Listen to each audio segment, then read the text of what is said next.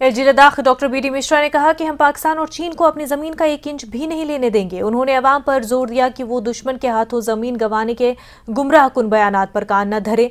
B D Mishra का कहना है कि उन्नीस सौ बासठ की जंग में हमारी ज़मीन का नुकसान उस वक्त की हुकूमत की गलत पॉलिसियों की वजह से हुआ था। वेटरन रैली और पेंशन लोक अदालत के दौरान बी डी मिश्रा ने अपने ये तासरात का इजहार किया। हेडक्वार्टर लेह सब एरिया के जेर एहतमाम कर्नल रेंचन, ऑडिटोरियम लेह में वेटरन रैली और पेंशन लोक अदालत का इनका किया गया था। इस मौके पर सबक फौजी जंगी हीरोज, वीर नारियाँ, एन ओ के और फौजियों के अफराद खानदान मौजूद थे। सबक फौजियों की फलाह की मुख्तलिफ़ स्कीमों और फवाद को उजागर करने और सबक फौजियों की शिकायत को दूर करने के लिए साल में दो बार ये वेटरन रैली निकाली जाती है और L G Ladakh brigadier doctor B D Mishra इस मौके पर मेहमान खसूसी थे। हमारी आर्मी है। हमारा जो रोल है आदमी का।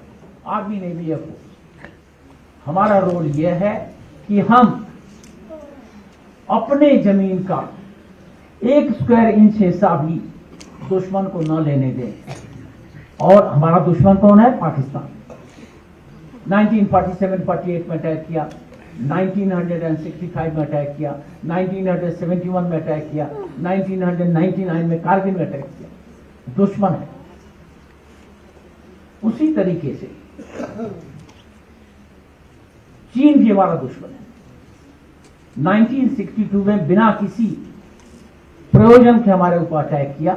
उस वक्त उस वक्त के नेताओं की गलतियाँ थी। हमारी आर्मी प्रिपेयर नहीं थी। हमको रिवर्सेस हुए। लेकिन अब वो रिपीट नहीं होगा। अब हम इनको ब्लडी नोज़ देंगे। जब भी ये कहीं भी मिस एडवेंचर करेंगे तो इनको हम ब्लडी नोज़ देंगे। ये हट नहीं सकते हैं बिना अपना नाक नोज़ तोड़वाए हुए तो ये हमारा इरादा है। मैं आप लोगों को बताना चाहता हूँ कि भारत का जितना भी हिस्सा है और एलएसी पर लाइन ऑफ़ एक्चुअल कंट्रोल पर, वहाँ हो सकता है कि हमारे उनके पेट्रोल में, चाइनीज़ और हमारी पेट्रोल में आमना सामना होता रहे। कभी कभी ये क्लैशेज भी होते रहे हैं। लेकिन हम अपनी एक इंच ज़मीन उनको नहीं दे रहे हैं, न देंगे। और इस पर कोई बयान दे कि भारत का यह हिस्सा उसने ले, चीन ले लिया, सब गलत है, ये र्यूमर है, और ये मिस नोमर है, और यह भड़काने वाली बात गवर्नर साहब आके हमारे पूरा एक सर्वेमेंट को हौसला दिया है, और साहब आने पर हमें बहुत खुशी हुआ है, क्योंकि साहब ने इंश्योरेंस दिया कि सी सी साहब को बता के हमारा जो कुछ डिमांड है एक्स सर्वेमेंट के लिए और वीर नारीश के लिए, हर जगह पर जो डिमांड है उसको आगे हमें मिलने की उम्मीद है। साथ साथ यहाँ पर जितना भी जो स्टॉल लगा हुआ है, वो पूरा तकरीबन हमारा जो प्रॉब्लम अभी दिन ब दिन प्रॉब्लम शॉर्ट मतलब शॉर्ट आउट हो रहा है। बहुत अच्छा लगा यहाँ का बंदोबस्त, जो भी अरेंजमेंट किया हुआ है, सब लोग का, हमारा प्रेसिडेंट साहब ने लेकर। तो काफ़ी अच्छा लगा, सर।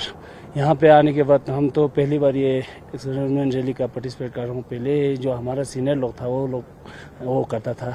तो हमें यहाँ पे जो भी फैसिलिटीज़ ने, जो मिलने का उम्मीद था, वो चीज़ हमें मिलने का फुल उम्मीद है। बहुत खुश हूँ आज कि हमारा जो मेमोरेंडम दो तीन मेमोरेंडम था गवर्नर साहब के नाम पर भी था और कोर कमांडर के साहब के नाम पर नाम पर भी था।